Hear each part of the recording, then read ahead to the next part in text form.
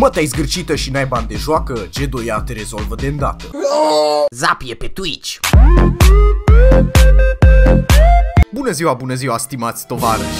Acum ceva timp am gândit să-i scriu lui Arnold să văd dacă nu are cumva chef de un meci de Fall Guys MORT! Și așa am ajuns eu să încerc Among Us. Asta și faptul că v-am văzut în comentarii gata să săriți pe mine cu topoare că iară trântez logica la un joc numai după ce începe să moară și ăsta. Așa că fără alte adăugiri, băgați un pumn de mini marțieni, puneți-vă să vedeți un episod din Rick și Morty, deoarece IQ-ul dumneavoastră trebuie să crească exponențial pentru a putea înțelege pe deplin complexitatea jocului Among Us. Among Us a apărut în 2018, dar nici dracu nu a auzit de el până anul ăsta. De ce? Păi conform celui mai academic site pe care vă luați toți informațiile pentru teme și lucrări de licență, Wikipedia, explozia în popularitate s-a datorat mexicanilor. ¿Quieres? Among Us e atât de popular încât a ajuns mai popular decât ghidul complet al lui Andra Gogan de a fi popular în liceu. Toată lumea îl joacă acum. Youtuberi, Twitcher, streamer de pe Facebook Gaming, copiii la orele online, livratorul de la Șorpotico, chiar și unchiul Levente care stă într-o colibă izolată în munții Bucegi și abia de se mai poate mișca din pricina glutei. Jocul ăsta trebuie să fie un joc bun. De ce? Among Us are niște review-uri incredibil de pozitive pe Steam, ceea ce e super, deoarece n-am mai văzut un joc cu review-uri așa bune încă de la Hentai vs. Stories. Gameplay-ul de bază al jocului este atât de simplu încât și un babuin l-ar putea juca dacă i-ar da cineva 5 dolari să-și-l cumpere în loc să-și cumpere țigări. Stați, stați, stați, stați un pic. Primesc informații prin cască, poftim? Cum adică Among Us e gratis pe telefon? Tot ce trebuie să faci e să-ți deschizi jocul, te bagi pe un server și îți iei bani. Nu-i bai, că poți să-ți faci un server privat și te poți juca cu 2, 3, 10, 100 de prieteni. Numai când te străbă prieteni și na. Bag pula.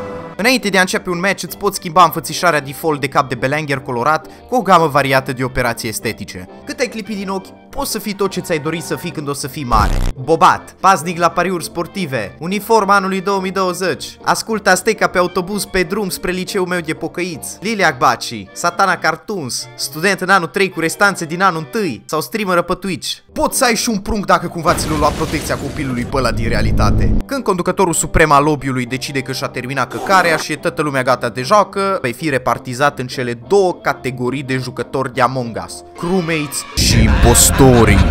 La finalul unui match, doar o singură echipă poate câștiga. Ca să câștige crewmates, trebuie să-și etaleze skillurile de meșter bun la toate și în același timp la nimic. Trebuie să repari cabluri, să sufli frunze sau să repari un reactor nuclear. Niște abilități pe care orice meșter bețiv chemat la renovări de apartamente le-a învățat de la tată -so. Bine, asta faci în momentele bune, dar cel mai des ca crewmate ai de făcut puzzle-uri cu numere, uitați la ăsta ce bine se descurcă bă băieți, și ajungi să fugi pe hartă ca ultimul descrierat că efectiv nu mai ai ce face. Toți crewmates trebuie să-și termine meșteriile pentru a putea câștiga, așa că noapte bună. Din păcate nu-i de ajuns că faptul că ești crewmate e plictisitor ca pula. Să fii crewmate înseamnă și că adesea o să te duci pe pulă în cele mai spectaculoase moduri. Ori îți bagă impostorul mare Atagan de Craiova în gât, ori o să fii dat afară de către proprii tăi colegi de serviciu. Și aici intră în scenă Le imposteur. Treaba impostorului e foarte simplă. Nu, nu, nu, nu, nu. Impostorul nu te va ajuta să repari cabluri sau să desfunzi o budă, însă te va ajuta dându-se drept crewmate de al tău în scopul de a-ți face viața ta și a colegilor tăi iadul pe pământ. Echipat cum te sabotezi de nu te vezi în ator, impostorul poate strica chestii în baze pentru a le distrage atenția sau a le da mai mult de lucru membrilor echipajului. De parcă nu erau deja destule căcaturi de făcut. Ca să câștige impostorii, trebuie să-i saboteze și să-i omoare pe toți ceilalți. Dumnezeu, și încă ce mai modalități au de a omorâ. La cât de brutal e jocul ăsta e la fel de Peggy 7 ani ca flocii mei de la cur. Din fericire, ceilalți pot raporta dacă găsesc un cadavru și începe Democrația! Singurul moment din joc în care ai voie să vorbești, deoarece în timpul desfășurării jocului Care vorbește suge pula.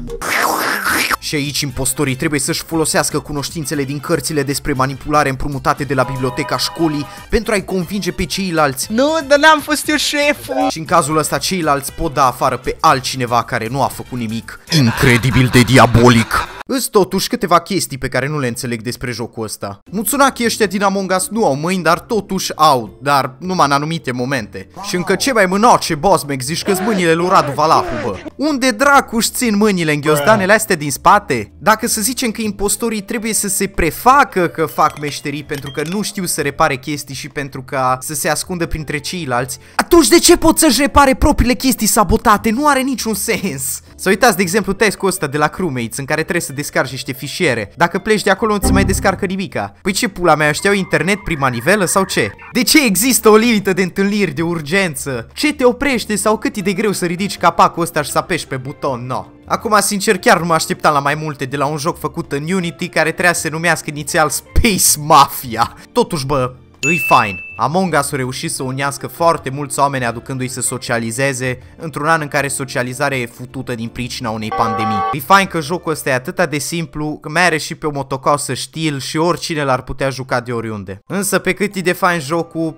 pe atâta e de trist, bă. De la simplu fapt că după ce mori ești obligat forțat să-ți bântui echipajul ca și fantomă până la terminarea meciului și până la lucrurile abstracte, că deși te joci cu prietenii, aceiași prieteni te pot trăda și îți pot demonstra că atunci când încerci să impui un set de valori în legea junglei, nimeni nu are încredere în tine și nici tu nu poți avea încredere în nimeni. Practic toți oamenii pe care îi știai ca și prieteni poartă o mască și vor face tot ce le stă în putință ca să-și salveze pielea. Dar e ok, pentru că și viața reală e exact la fel. Among Us, prietenii știu de ce. Hai să jucăm Among Us, au zis. Bă, să te O să ne distrăm, au zis. Aha. Aha.